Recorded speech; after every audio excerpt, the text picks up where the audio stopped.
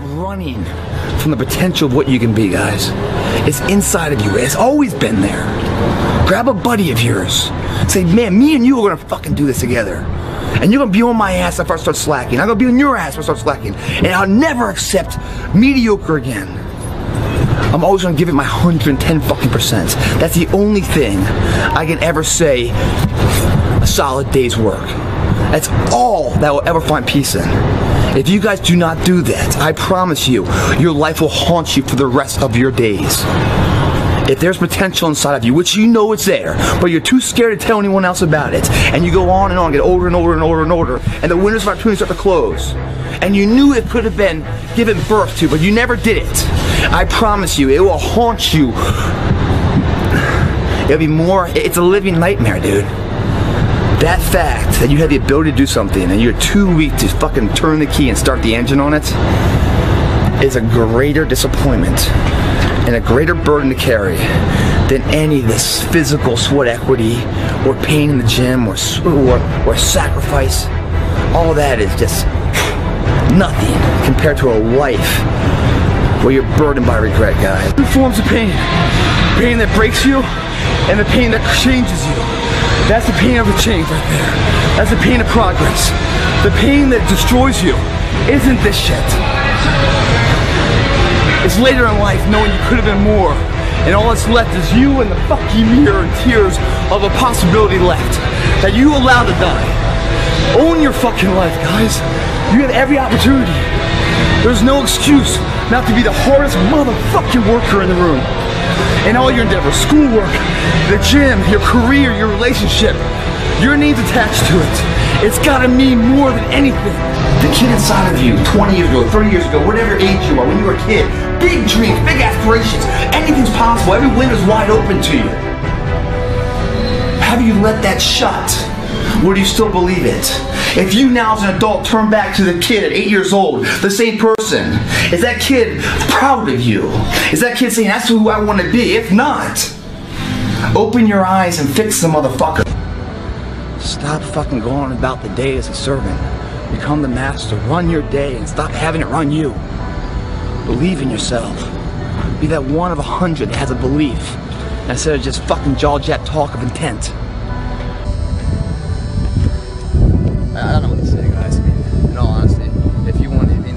No fundamental like secret here. It's called hard work and sweat. If you have that and you're willing to provide that in exchange for a better life, well, everyone will make that deal with you. If you're willing to give up that for pride, accomplishment, feeling of self-worth, if you're willing to make that transaction, Miami Fitness is your bank. And it's open every single day for your transactions. Make your deposits every fucking day. Pay your dues. I'm the person you want to be. It's the easiest fucking equation in the world. That's a good life. That's a life remembered. That's the life I want you to live.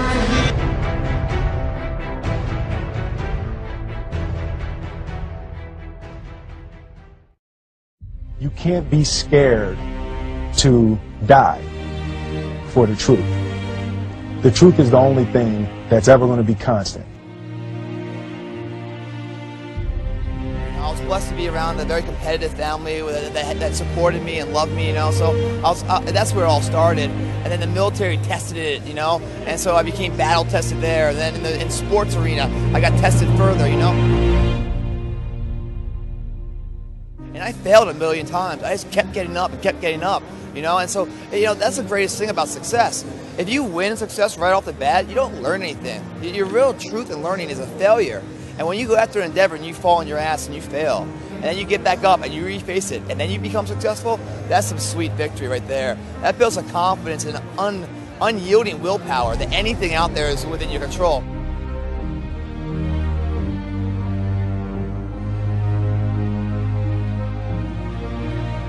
So all these things in life, even the failures, create who you are today. You know, so therefore you can apply what you've learned in the past to make the best judgment in, the future course of action. To take that first step towards greatness is very hard. That's the hardest step of everything. Is that first step, right? That first step towards greatness is hard. What's a lot harder is when time expires in life. And you look back on your life knowing you could have been great. That's something you can't control anymore because time's run out. The person who's standing at the end with their hand raised isn't the person with all the genetics. It isn't the person with the most potential. It's the person that has the greatest perseverance. It's always willing to get out. The difference between a champion and a, and a loser is that the you know they both fail. It's that the loser allows the failure to stand for life. With a champion, even though he gets knocked on his ass, finds does fortitude to stand back up, reface that endeavor until it becomes his favorite, until he wins. That's the difference. Champions get back up and do it again.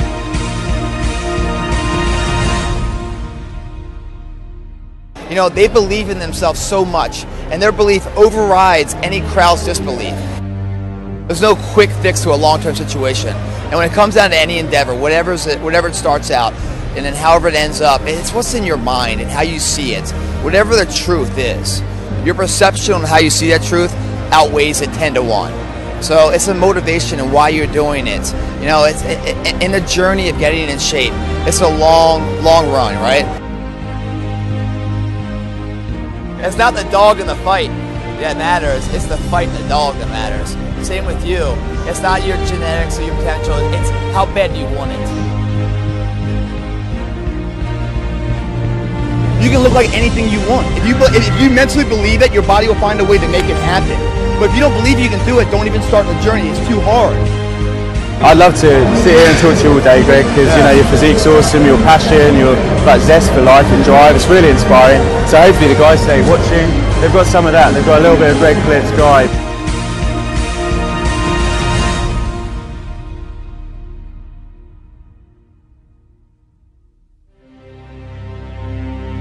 You only live once. But if you work it right, once is enough, my friends.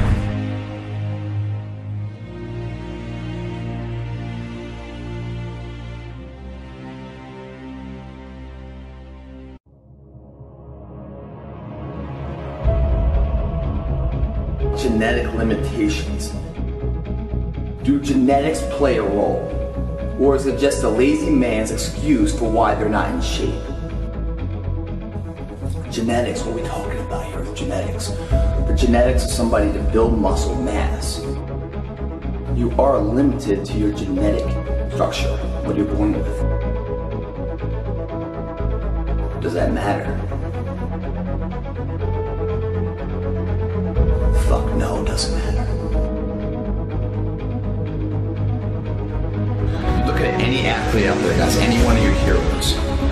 Guarantee you, if you listen to any of their interviews, you'll hear them say, practice makes perfect, that kind of mentality, that they failed in order to succeed. It's the belief that supremacy exists.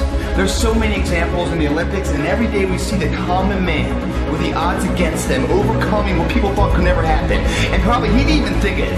But there he stands victorious and a role model to all of us. Oh my God, we want to be him. But before he was him, he was us. What got him there was an undying belief. And every drop of sweat that came out, and every pain and ache and everything else was just a, a, a telltale sign and getting closer and closer to that dream that we, when we were kids of being reality.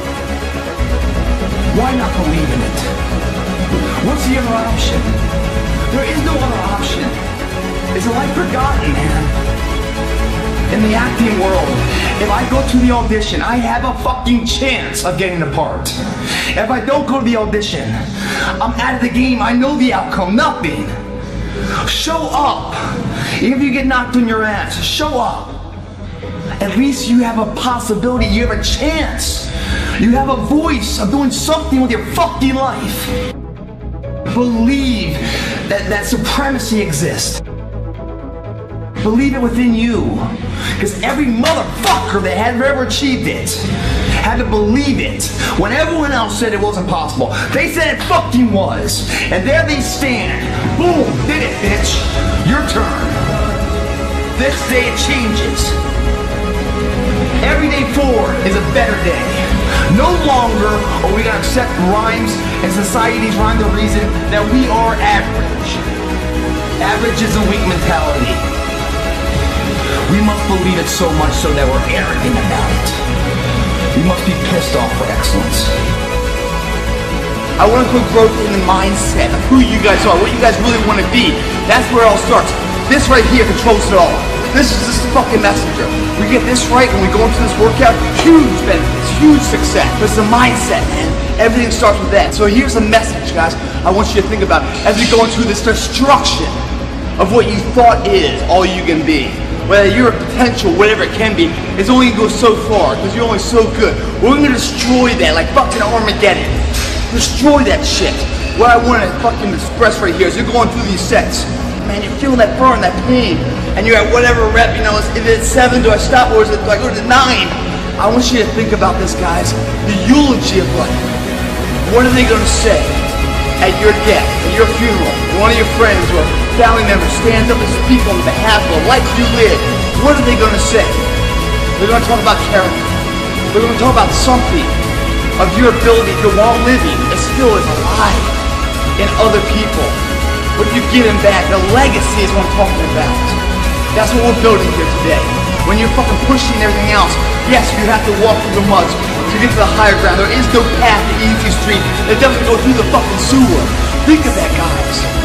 As we're going here and you're pushing it, you're pushing the pain out, and you're trying to get that rep, that's where it all matters, man. That eulogy is going to speak volumes, even though you won't be there. It's going to speak volumes on your behalf. That begins today, right now, what we do. This says it all. It'll destroy the disbelief that you can only be so far. We're encouraging the unknown belief inside of you guys that everyone has. It just needs birth to. That belief is a wave, a tsunami that's going over what you thought you only could be into epicness. So many people with far less talent than you, far less ability, and achieve far greater than you because they had the missing element, belief. Armageddon today, we're destroying that belief. We're gonna get our life right now. We're gonna get that eulogy they're gonna speak. We don't live forever. Our legacy does. We're gonna make sure that's solid. That gave me some weird fucking looks and everything else. Fuck them. You think I even noticed that? You think I give a shit about it? You know, no, I'm here for my own reason. My belief, where I'm going. In here provides a betterment for me, a purpose for me being here. They don't exist. I don't alter my mission at hand. No one fucks with me. Because I don't allow them to. They don't pay my bill, that's why I don't give them any value. It's gotta be that way. It's gotta be unconditionally focused. You know, you're not in here embarrassed. You're not in here this. When I say commitment and belief has to be unparalleled, it's either you're in or you're out. What that means is that if you are in and you believe in yourself, no one can change that. The weak motherfuckers of the world are committed when, it, when, when everything's in a perfect setting. But as soon as things get hard, they start having doubts. And why are the doubts? Not because they're failing, because other people are saying stuff and they're giving value to these third-party people as if they're going to help them. No one's going to help you. No one's ever going to help you guys. You've got to help yourself. And I hate to say this, you really can't trust anyone but yourself. And if you trust yourself and you bet on yourself, you'll never lose. But if you start to put someone else's efforts in the equation of success for your own individual path, you're going to be sadly mistaken on what comes from that path. Bet on yourself, believe in yourself. Don't allow anyone else's opinion, voice, actions to dictate what's going on. Because the further and further and further along the path you go, and the closer and closer you get to the end goal, that result, you're gonna see more and more people start acting funny around you. Fucking, this is your life, man. Fucking hit it with some fucking passion.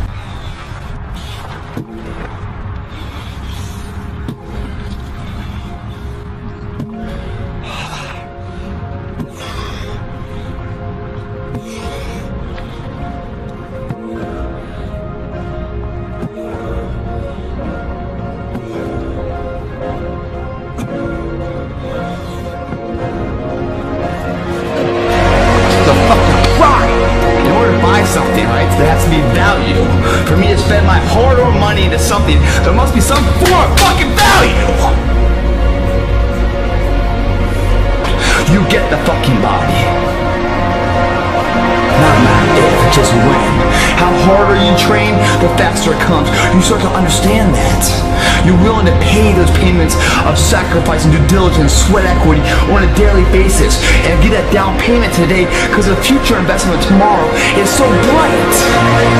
No longer are you going to wake up the same person. You're changing the me frame. You're becoming that person through payments of this shit. The sweat equity. You own that. No one's paid you a fucking thing. That's actually cost you money. The gym membership, time, and everything else. Investment.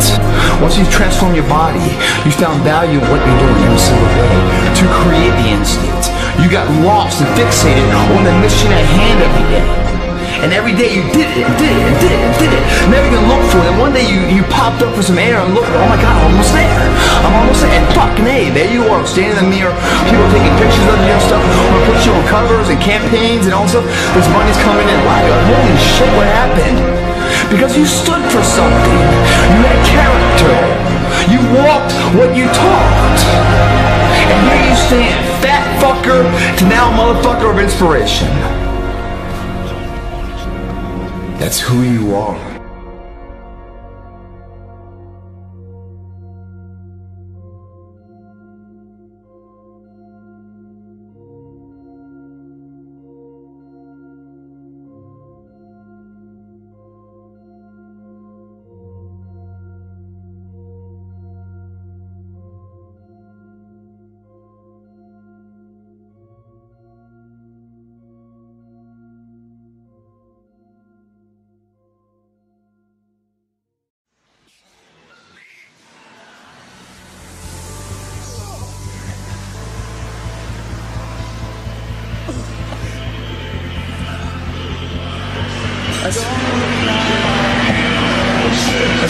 Most of a set, man.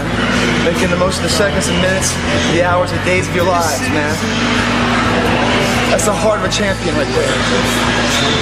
They never say it's the bicep of a champion, the ego of a champion. It's always the heart of the champion that matters. Because at test of time, or the most strenuous adversities of life, it's the heart and the headstrong ability to keep the pulse going of belief when the body is shut down physically. Mentally, you survive and push through it. The heart of a champion. Not the fucking ego, not the goddamn bicep. The heart.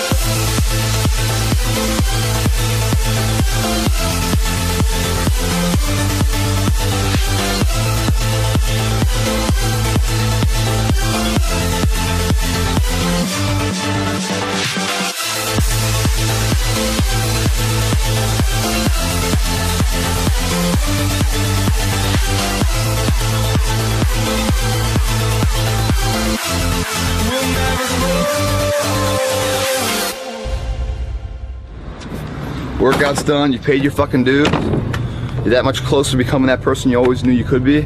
I mean, isn't it about time you do that? Isn't it about time you become that person you knew you always could be? How do you do that? You break the fucking mold, guys. You get the fuck out of bed when it's cold, when it's early. You do something away from the normality of what you've been doing.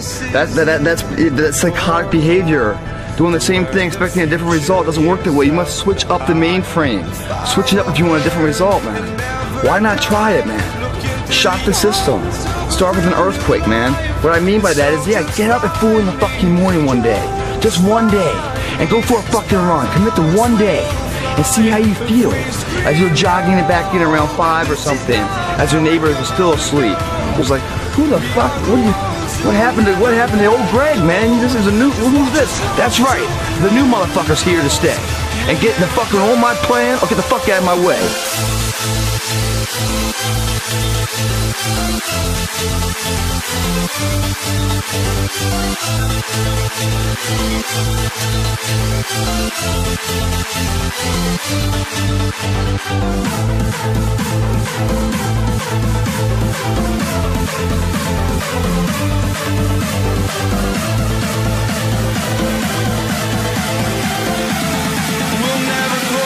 This is my fucking time!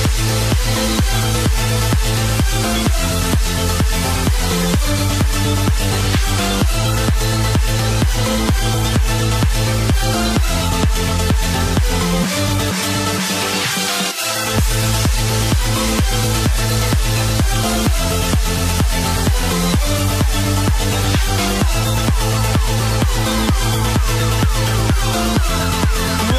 are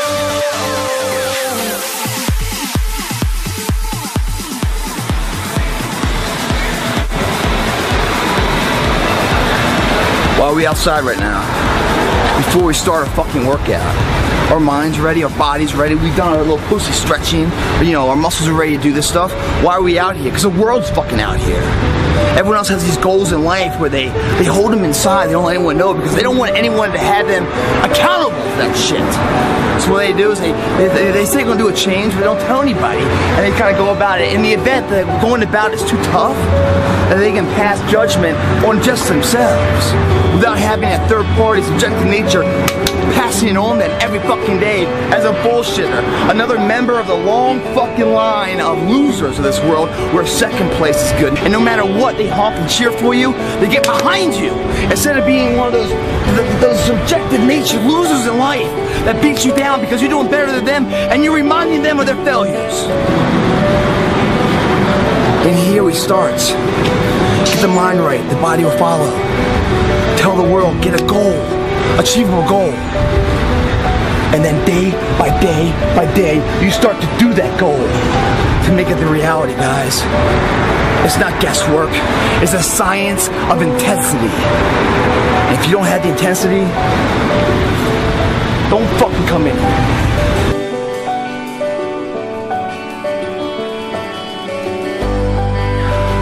The life we live, guys, a differential of margins that's almost unmeasurable. What is successful and what is failure, the differential are so small. We're talking about seconds. We're talking about, you know, reps. We're talking about the finest echelon of measurement that will make or break someone's life to be successful at that moment. And once at that moment successful, that gives a birth of a lifestyle that's unbeatable, second to none. But in order to have that first success, you must ensure yourself that you're giving it all you can today. Because the future we don't know, do we? We're training for that. And when I hear people say terms like good enough, bothers me to an nth degree because they are saying something that is justified at the moment but not quantitative until a future endeavor of life. So therefore they are passing judgment on now for a future event that they knew nothing about. They're bullshitters. Good enough, if you think about it, good is a positive, enough's a negative. That's an oxymoron right there. It's hypocritical in its own sense. There is nothing that's ever good enough. The only thing that's enough is at the end of the day, the nth hour, the final hour, whatever you're fucking going for, that your hand is raised victoriously. That's when you know it's enough. And you're in the gym right now to ensure that that event goes your way. And it will never go your way, guys, if you're saying today is good enough. If you never say good enough today, I promise you tomorrow will always be enough. Whenever good enough isn't enough, you can bet tomorrow you'll have enough. There are no shortcuts. You went to every fucking corner, made a left turn or a right turn, and then you went down the next path. Ensured everything and the opportunity was presented. And you got the most out of each situation you could. If you come up short, you know it's not from your lack of effort. You got beat honestly, and that's fine. But you'll never look back on that and say, fuck. If only, if only I did that. What if I did this? Too fucking late for that. Build a legacy, guys. Don't go after the title. Every single day, the small things in life hold value to. It's you doing them. And you should have value in yourself. When you value your name, your life will be remembered. How do you know you're on the right path? When the small things mean as much as the big things. In lifting, those last couple reps mean as much to you as looking in the mirror and flexing or winning the competition because you know those small things add up to that. And if you half-ass it here, you can't expect anything but the half-assed fucking accomplishment later.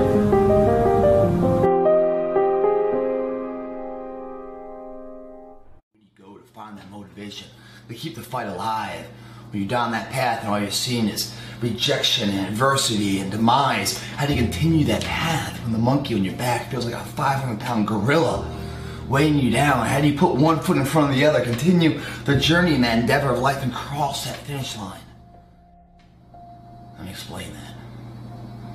If your mouth is a window to your body, and the nutrition that comes through your mouth enables your body to grow strong and have a capable fundamental structure of whatever you want to do physically. Your eyes are the window to your soul of belief, inspiration, the willpower. And just like when you put something in your mouth and you chew it, it can either enhance the physique of yourself or be the demise depending on what you're eating. The same goes true with what you see. There's a visual diet out there that's good and bad. There's negative energy if you look at and you focus on, you allow that to come in, there'd be a demise of your willpower. The demise of your self-confidence, what you can be and what you believe in. You focus on the negative so much, you start to believe that negative shit exists in you. That's a negative, unhealthy diet. Visually. Must focus on the positive things in life. Them to see on the when you're going through your day, guys, there's a million of these examples out there. When you see them, stop yourself in their tracks. Give credit. Remember the name of that person that did something. With a common man overcame the odds and did the impossible. When you see that, take notice and remember that. Because you will use that later in your own journey when you're feeling fatigued and weak. That'll be the spark that keeps you going on that journey when that gorilla is on top of you to ensure you get through that finish. But having a sound diet physically and a sound diet visually, the ability and the power of what you believe in to be true, and then building the body of which can make anything that you want capable is only two thirds of the equation. There's one big missing element that Marcus is talking about here. There's no name for that element. Call it the X factor if you want. But the X factor must exist. Even if you have the healthiest physical diet and the healthiest visual diet, it's not enough. Those two are like a sailboat out at sea with no harbor to sail for. In that situation, the best wind is no wind because you don't know where you're going. That's the X factor. The want. What do you want in life? You have the physical body to do something. You have the mental capacity to believe in it. What the fuck do you want? And you want something that collides all three of them into the trifecta.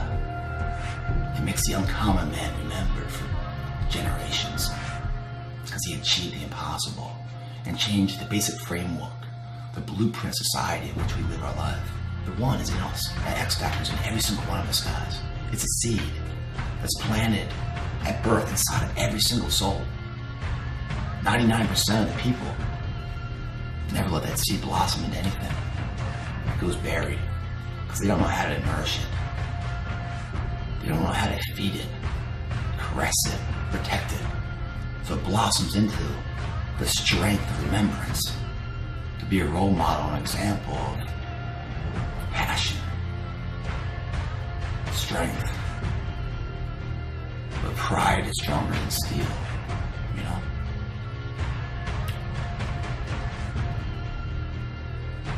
That seed is not a genetic code. I mean, it's not like someone has a big seed, someone has a small seed. We all have the same seed.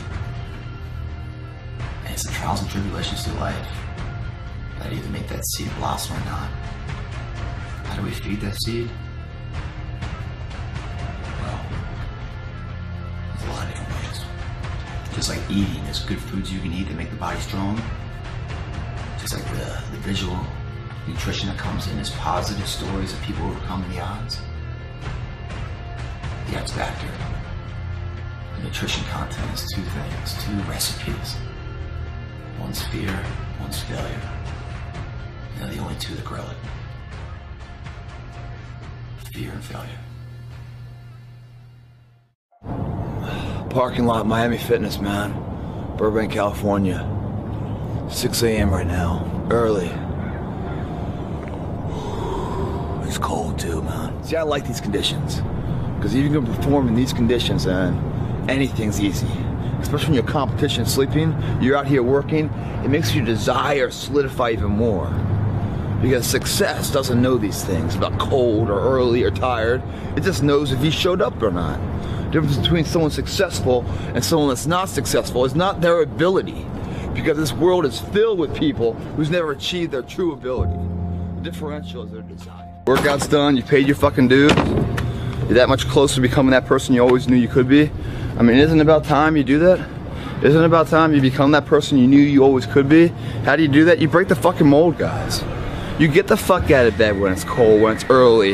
You do something away from the normality of what you've been doing. That, that, that, that's, that's psychotic behavior. Doing the same thing, expecting a different result doesn't work that way. You must switch up the mainframe. Switch it up if you want a different result, man. Why not try it, man? Shock the system. Start with an earthquake, man. What I mean by that is, yeah, get up at 4 in the fucking morning one day. Just one day.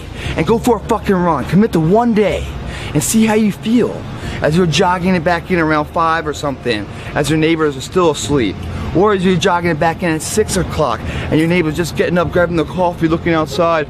Wondering, you know, what the day's to hold for them. Well, your day's already provided something for you. You see how that works? Mentally, you feel like, wow, man, that was fucking alive. And then you go about your day at work, and your coworkers like, who the fuck? What you?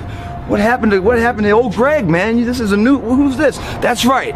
The new motherfucker's here to stay and get the fucking on my plan or get the fuck out of my way. That's how you run it, man. But you won't get to know what I'm talking about, man.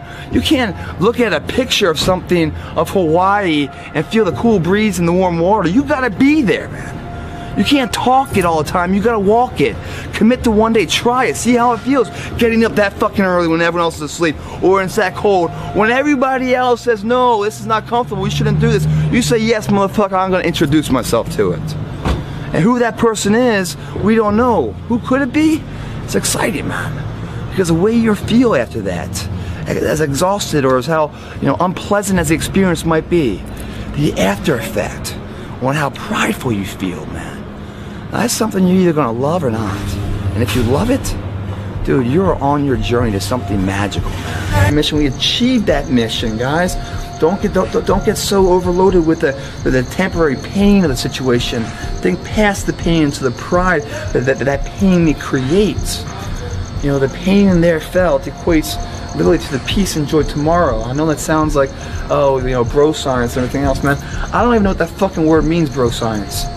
I just hear on these fucking, you know, you know, blogs and stuff or these forums and people write with these fucking keyboard rangers that have no other life so they sit there and fucking type away because they feel like they got some fucking set of nuts behind a keyboard. But in person or in life, they fucking these little hermit crabs going around and just hiding out and everything else because they don't have the intestinal fortitude to do anything but talk the talk behind a fucking computer. They can't walk shit, man. That's why they that's why they had the fucking time to even comment on someone else's achievements out there. Fuck those motherfuckers, man. Don't be those guys. Come in here, man. You go in there and you fucking kill it. And when you kill it in there, man, you come out here, you I don't give a shit what goes down. Part of your day is fucking a check, man. You did it right. When you do it right once, it makes it easier the second time to do it right later in the day. It's a, it's a wave of positive energy, man. Abdominal assault, man. We call it assault because you're assaulting an objective. That objective is the high ground of life that you want to get to. It's within your grasp. You're willing to fucking give up that sweat equity, man. Come in there and sacrifice a little bit of pain for pride, man. If you're able to do that, man, on a daily basis, and you check the box and you pay your dues every single day, man, then that and anything else out here is within your grasp. That's when life becomes exciting. That's when you're fucking driving it, man. You're the master of your life. You're not the servant anymore. You are running the fucking day. The day is not running you. That's the, that's that is that is freedom, guys. Freedom. You gotta go in there first, man. The devil's den, you know. Pay your dues. You gotta, you know, face your fears to find that freedom, though. Greg thanks for watching. Abdominal Assault, man. Go out and get your six pack. It's there for you. I had the greatest job in the world. It's a job where I get to put out what I do, what I love to do, and help to inspire people to do what they love and achieve things. I just help them believe in themselves and to have a small impact in a better betterment of their life, man, it just humbles me so much. And so that's why I think I have the greatest job in the world because uh, the return of investment, it's not a monetary value, but it's a value that that builds legacy.